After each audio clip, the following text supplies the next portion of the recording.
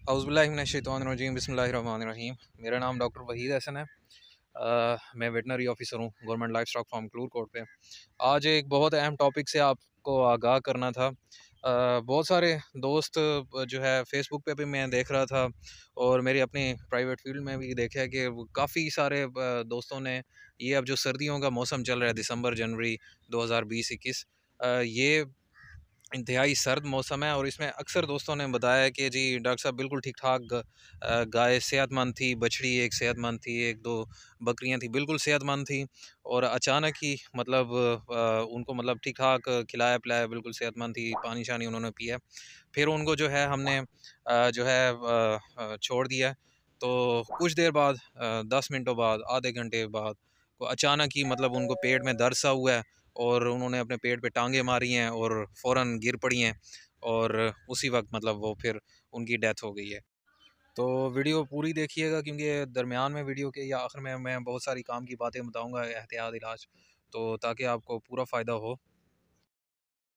तो ये life stock department वालों ने भी इस सिलसिले में तहकीक की थी कि जानवर कैसे मरा है, उनका पोस्टमार्टम किया था और जो खुराक उनको खिलाई जा रही थी।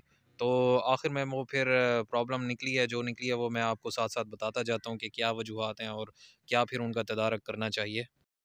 तो सबसे पहले आप चैनल को सब्सक्राइब कर लें और बेल आइकन भी दबा दें, ताकि आपको तमाम मेरी जो भी वीडियोस मैं अपलोड करता हूँ वो मिलती रहें।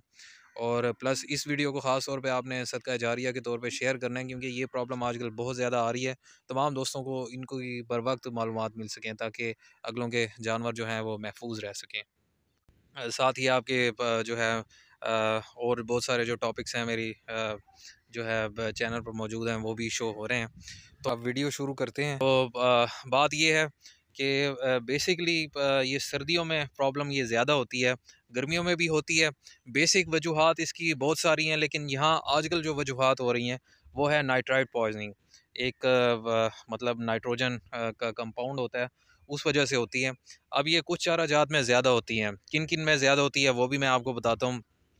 बेसिकली जो सरसों का घास है, जो हम जानवरों को खिलाते हैं सर्दियों में तो उसमें ये आम हालात में भी ज़्यादा होता है और ख़ास तौर पे जब ये सुबह सवेरे मतलब कोरा पड़ा होता है और अक्सर किसान भाई जो होते हैं वो उसी वक्त उस चारे को सुबह सुबह कोरा पड़ा होता है, अभी दिन भी नहीं निकला होता या दिन थोड़ा सा निकला होता है तो उसको काट के वो जानवर के आगे डाल देते हैं। बेशक काट के भी डाल रहे होते हैं, लेकिन फिर भी क्योंकि उसमें वो नाइट्राइट जो है कंपाउंड ज़्यादा होते हैं तो इस वजह से वो है, जानवर को वो रिएक्शन कर जाती है। तो आम हालात में नाइट्राइट जानवर के लिए बहुत ज़रूरी है, लेकिन मखसूस मकदारों में। जब उस मकदार से ज़्यादा बढ़ता है तो ज़ाहरी बात है, वो जानवर के लिए नुकसानदेह और जहर है।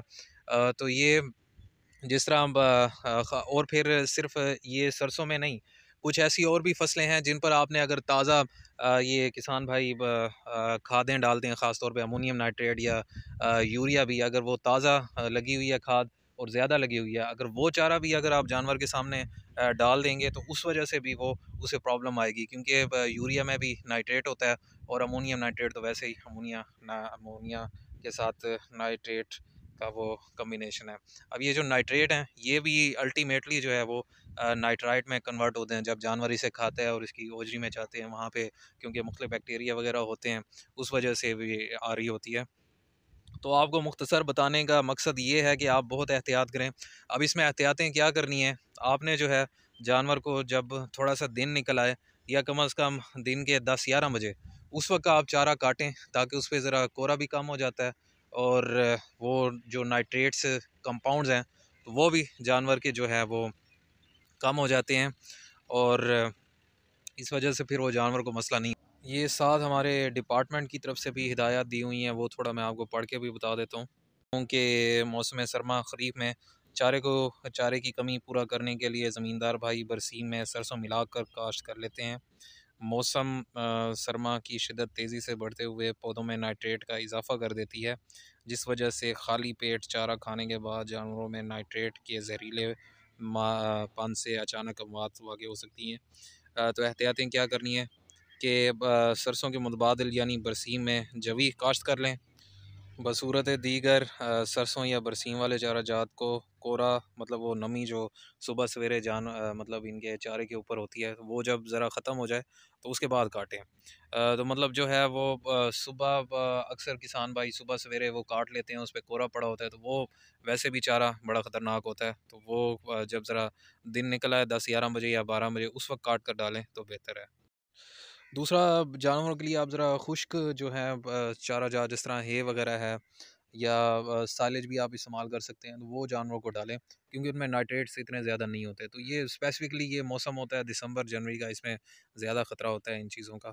दूसरी बात यह है कि आपने जानवर जो है, वो जानवरों को जो पानी देना है, वो ताज़ा मोटर का दें। ये ना करें कि जो रात का पड़ा हुआ है, वही पिला दें, या जो है, वो ठंडा ठार पानी हो। तो क्योंकि ठंडा ठंडा पानी जो है, वो वैसे भी जानवर की सेहत के लिए भी नुकसानदेह है, और उसे नमूनिया वगैरह कर सकता है जानवर को ठंड लग सकती है। तो ये चंद चीज़ें हैं जिन जिनकी अगर आप एहतियात करें तो ये प्रॉब्लम नहीं होगी।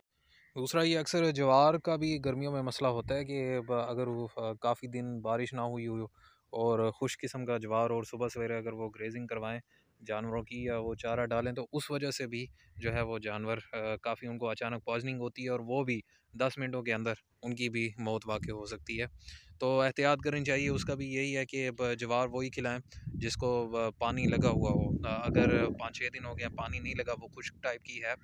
सबस जवार तो वो फिर जारी बात है प्रॉब्लम करेगी। आज की वीडियो यहीं तक थी। अगर आपके जहन में और कोई क्वेश्चन रह गया या किसी और बारे में रहनमाई चाहते हैं तो आप कमेंट में मुझे बता दें या मेरा व्हाट्सएप नंबर है, उस पर रबता कर सकते हैं। तो ज़रूर मैं कोशिश करूँगा कि जितनी आपकी हेल्प हो सकी है, वो करूँगा। तो दुआ में याद रखिएगा। अल्लाह आपका निगेबान हो। अल्लाह हाफिज़